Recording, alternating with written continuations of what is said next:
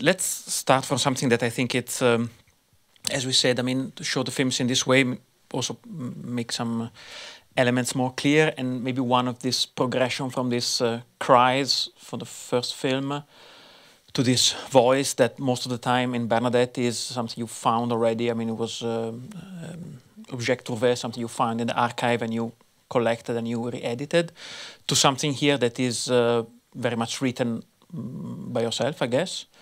Uh, and there is a moment in Bernadette uh, in which we see a, a, small caption about the title of the book, uh, and we are hearing something that I think it's from the book, but not all of it. It's from the book, and I think this is a moment which uh, it's a moment of passage between Bernadette and this film. I mean, where the, the writing comes in. Could you tell us a bit about this progress and and how you work uh, uh, on writing something so dense like the one what we just heard in in It for Others?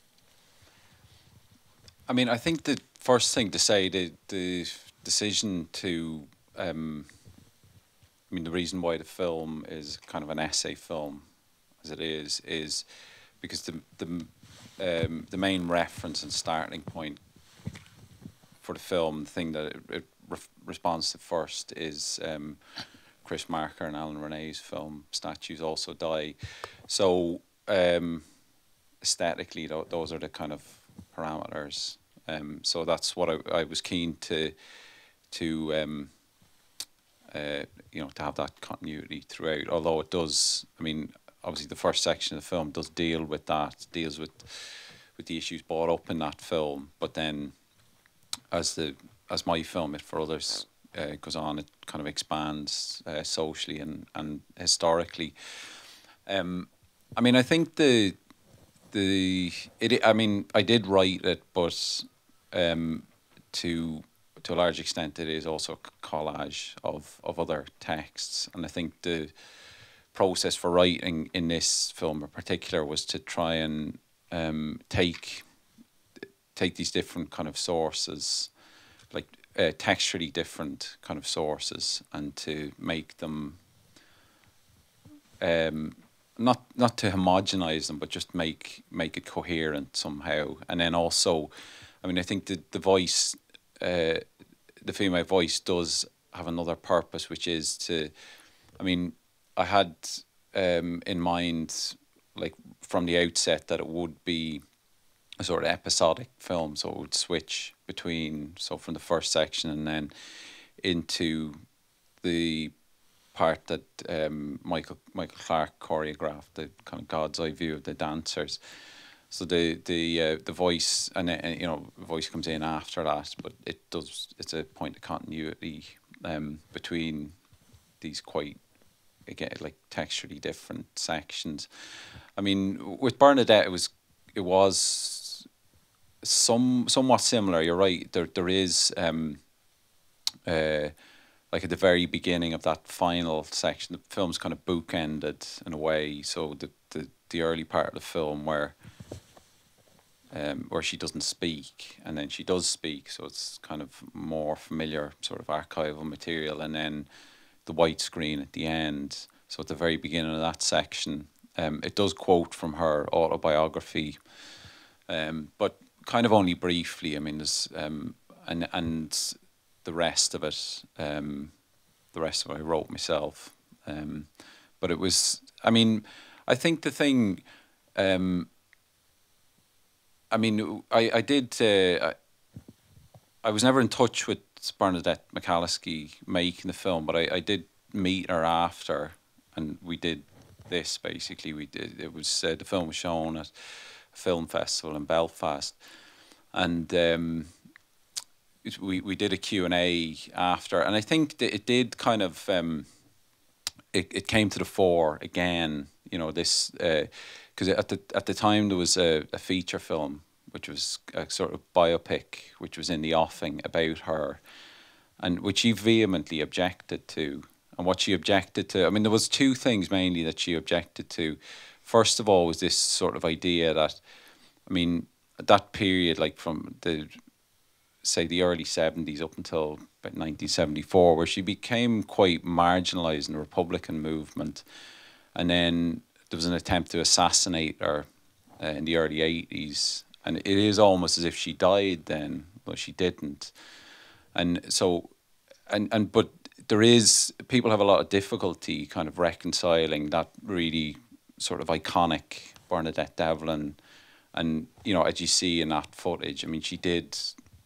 Uh, you know, have a genuine mandate for a popular revolution at a time, and it seemed that she could she could carry that, and then very quickly that went, and it's very difficult for people, I think, to reconcile that really iconic um, image of her with, you know, as she became more marginalized politically, but then sort of withdrew, or not not withdrew, but um, her focus was much more local and it was much more on, like for example, what she does now. She works with migrant agricultural workers in her county, and there's a lot of. Um, I mean, the big issues for them are that they don't speak English, so they can't represent themselves. So she kind of provides um, advocacy services for them. Um, so this is a very long way of saying that uh, I didn't want to um, make a film which um, came across as being in any way kind of comprehensive or conclusive that it, you know in any way sort of summed her up. So that was really the the, the impetus behind um, the writing in that final section of the film, and and really so that the film would unravel as opposed to kind of build up to any sort of conclusion or to you know achieve any sort of closure.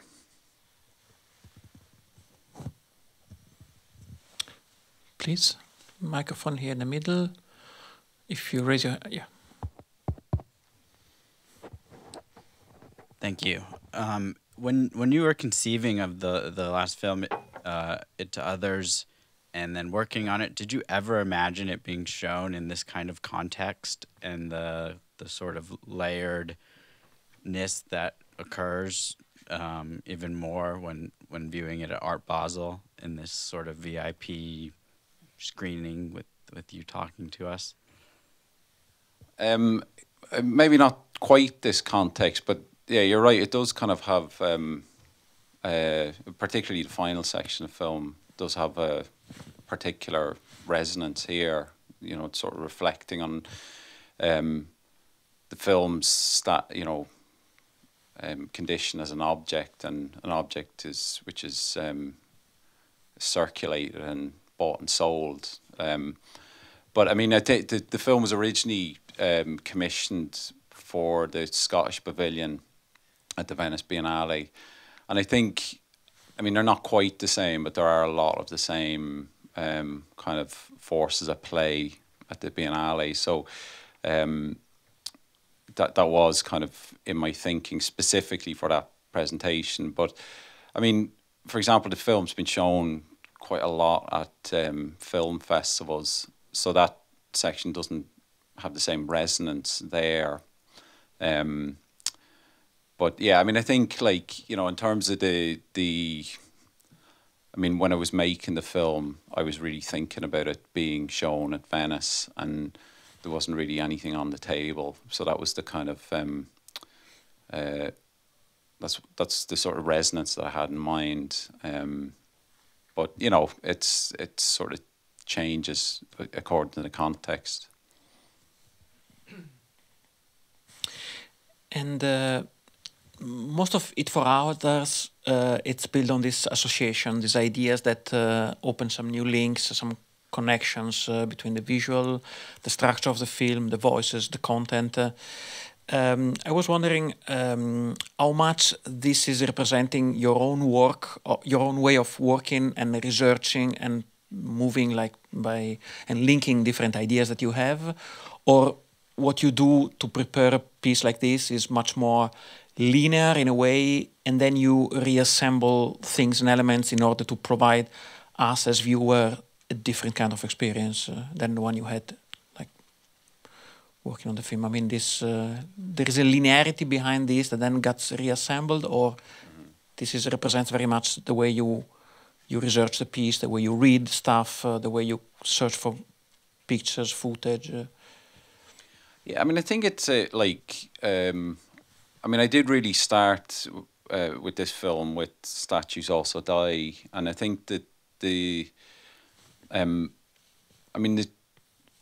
One of their central arguments, or maybe the central argument that that Marker and Resnais um, make in the film, is that they link the death of certain traditional art forms from West Africa with their commercialization and consumption by the colonial classes at the time. Um, and but at, I suppose it was like a process of kind of taking that, like, because that that argument can be sort of reduced and applied to a lot of of other situations.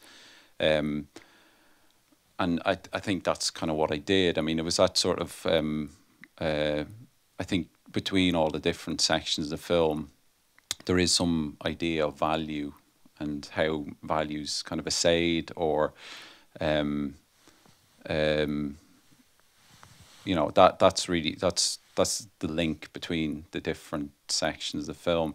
I mean, in terms of the process, it's a little bit. I I think um, there is a, um, a large degree of improvisation with that. I mean, I did have roughly speaking like an idea of of this of a film that was kind of episodic, but it wasn't really until um, until I got into the process of researching, but also making certain parts of it that that kind of um, opened opened up. You made them in the order we are seeing them, or uh, how that influenced, in case, the way you. No, they weren't. No, they were. Um, I mean the the um, the stuff with the with the masks and, and statues, the African masks and statues, um, that was kind of shot over quite a long period of time. Um, but yeah, it, it sort of jumps around a bit. But um, there there was um, there were there were sections which got added, you know, in the in the process of of production.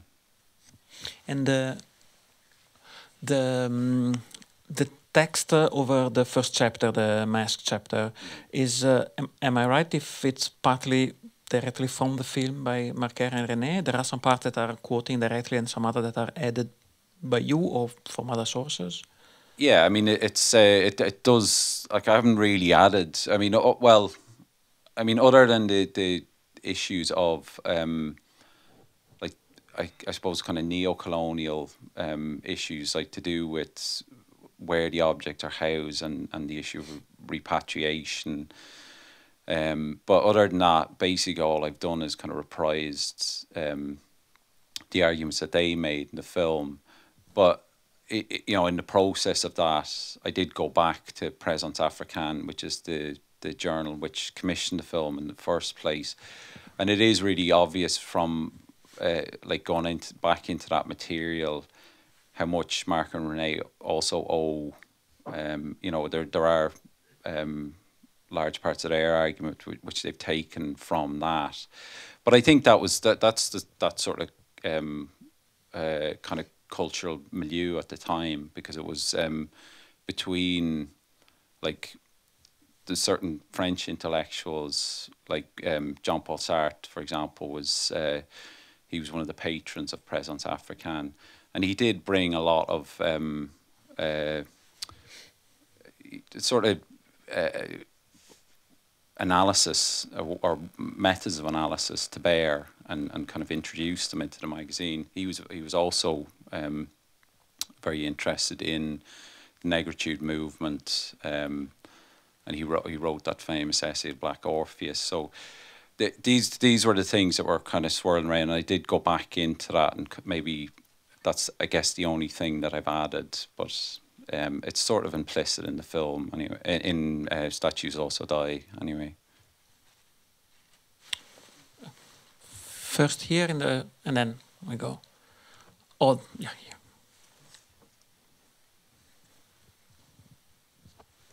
Um, I remember seeing the film in Venice, and you you actually had to go through the original film, and I understood that it was the way it was supposed to be, or at least planned at the beginning, then I would like to know why did you change? Why why now you show it without the original one?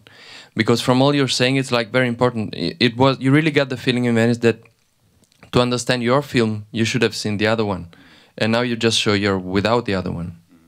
So was it because it's easier to distribute or to make it circulate or? Not not necessarily. I mean, I think uh, the the reason why it, it, was it was this kind of procession. So when you went into the space, um, statues also die would begin and end, and then uh, there was a, a slight kind of delay, mm-hmm. and then my film would begin after that. I mean, it in thinking about it in advance, it seemed really important to have the two sitting in proximity to one another. You know, and that one would inform the other. But actually, practically, there was a lot of um, there's a lot of practical difficulties with that, like to do with language, and I couldn't get other. Uh, the only way I could I could show or have shown um, an English subtitle version of Statues Also Die um, was to have a 35 millimeter projector running. That's the only um, print that exists that has English subtitles on it, which was kind of prohibitive in the situation.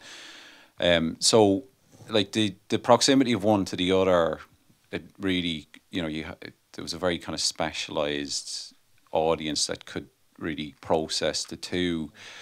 But I think it was also like just seeing them next to one another and then seeing it for others uh, separately, um, because I think you know, and just in terms of what I was just saying, like the first section of the film does pretty comprehensively reprise um, the arguments that they've made in the film. So the uh, statues also die as a kind of an object in my film as well. So, um, I mean, you know, I think it can, it can be shown both, um, but you know, haven't seen them together and haven't seen them separately, I think it can exist on its own.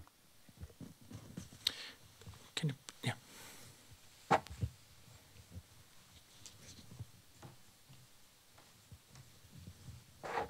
Thank you. In um, both last movies, you you bring up um, engage, or you, you do them with an engagement, with a political engagement, even probably, I guess. Um, but both movies don't get me out of my seat or excite me in that way. Like I, I don't feel really that um, anger or surprise or, or whatever it could be as a, as a as a way to start a movie, making movies like this. Um, don't get that far. What is there a reason for that? Is that you, or is there even the way that the reason that it's commissioned by by organizations part of that? No, I mean there isn't any. Um, I mean, in both films, I had more or less complete freedom. Um, to I mean, I I mean, in a way, I'm glad you said that that you're not jumping out your seat because um, I do. I think it's it's a problematic thing. I mean, I don't. Uh, I don't think that there's anything wrong with films that are contingent and that are um, sort of. Um, you know, intended to provoke a very particular response. It's just not really what I'm interested in doing, you know, in terms of, because I think there, there's a lot of kind of nuance in terms of representation uh, in both films that I'm equally interested in. It doesn't preclude the political and social issues. I don't think. I, I just think it's far more complicated than that in this regard, uh, I I watched yesterday the Statues Meurent Aussi, uh, and um, I watched it again yesterday, and uh, I was uh, um, surprised because first I, I, saw again your film yesterday just to prepare this evening, and then I watched again uh, Les Statues Meurent Aussi, and uh, the second part of the film, the one you're not referring directly here, it's. Um, it's very much speaking to his own times. I mean, it's uh, the film was made in 1953, and uh, the film involves colonialism and racism, which is also part of the mask part. But then also it goes in. I mean, they're talking about uh, workers' rights, uh, sport, uh, um, the growth of a new petit bourgeois after the Second World War. There is a number of uh, political discourse in it, and it's finished with the two words that I was uh, very impressed by. It's uh, future and promise, uh, which you also quote. I think you quote the word promise in, in, in, in, the film, which I was thinking there are two words that I mean you would hardly hear nowadays. I mean this these two words they mean this they really mean that this film was speaking to the time when it was made of uh, the, the, the context, the political context, the social context of change, and it was advocating for some change to happen. How do you feel about that? I mean, you lack that maybe political uh, context around this film. How you see this film speaking to its uh, time, thinking about the way this Les Statues Meurent Aussi and Marker and Resnais were mm. speaking about the, their times when they did it. Yeah, I mean, I think it uh, like it is a very unusual film, particularly for Chris Marker to end so optimistically because. Um, like if you look at like for example when he returns to West Africa and Sans Soleil and to, to Guinea-Bissau, uh, Amilcar Cabral, um, and it's, I mean, it isn't cynical, but it's very, um, it's quite disillusioned, you know, or or it's very deadbeat, you know, um, and uh, you know I have similar feelings for, I mean, the movement that Bernadette Devlin was part of. Um, they're now at least a part, a component of that is um, uh, in government right now, and um, they're like like beyond the pale shadow of the kind of potential and promise that that you know that they originally kind of um, you know when they originally kind of emerged that that sort of um, seemed to be possible. So I, I think it is like that. It's just the the um, uh, quite disappointing reality of that of how that's of that evolution.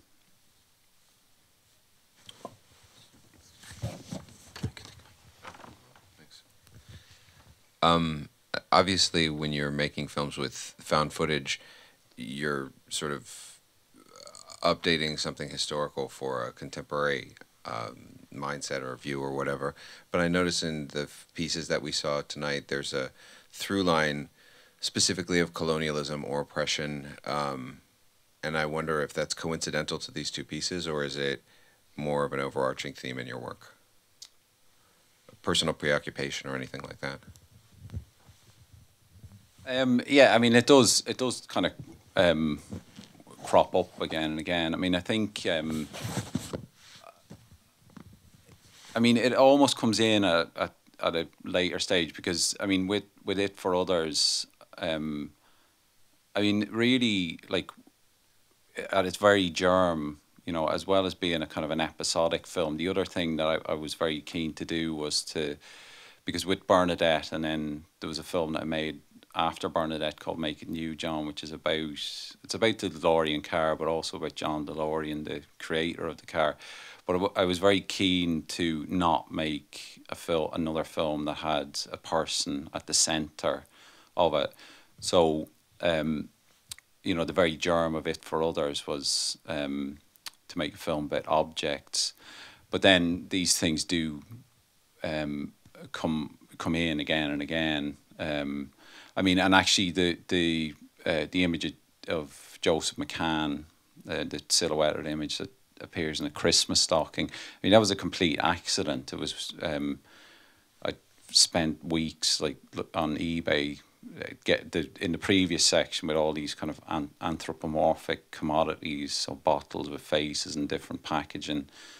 And I was on this website and I found that, and it just kind of sat there, but that you know in relation to what you were saying about asking about the kind of process that was it was never my intention that that would come in but I couldn't leave it out at the same time. So um, it's maybe more kind of subconscious um, preoccupation. These things keep keep coming in. Is there perhaps a last question from the audience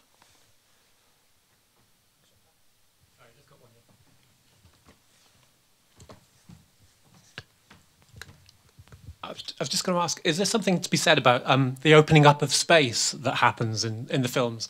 I'm just thinking some of the angles, the collaboration, say with Michael Clark, um, and that kind of that kind of uh, different kind of perspectives that you get in those sections of the films. They kind of they kind of do something in terms of opening up the space and the bodies moving through it. Um, I'm just saying, how how did those collaborations come about? And in a way, is there the kind of when you look back at the originality of uh, Marker Resnais, they also had these extraordinary mechanisms in the films that just opened up a different way of looking at things. And it feel, feels to me, certainly the, the kind of working with a choreographer like Michael Clark, that's sort of a similar thing that you were trying to do. Yeah, I mean, um, the, the section that, that Michael Clark choreographed originally it was going to be um, it was just going to be a standalone piece, but um, we we kind of had this reading group between us where we were both reading Capital at the time, and uh, it like as the as the project developed, it just seemed to be it's like the issues that we were kind of interested in, um, you know, working on, or or for him to think about how to choreograph um, were so close to the film that it did end up becoming a section in the film. But I mean, the, the that kind of God's eye perspective um, came about. It is sort of um, in in Michael's work, like when you see it performed in a theatre, there's always a section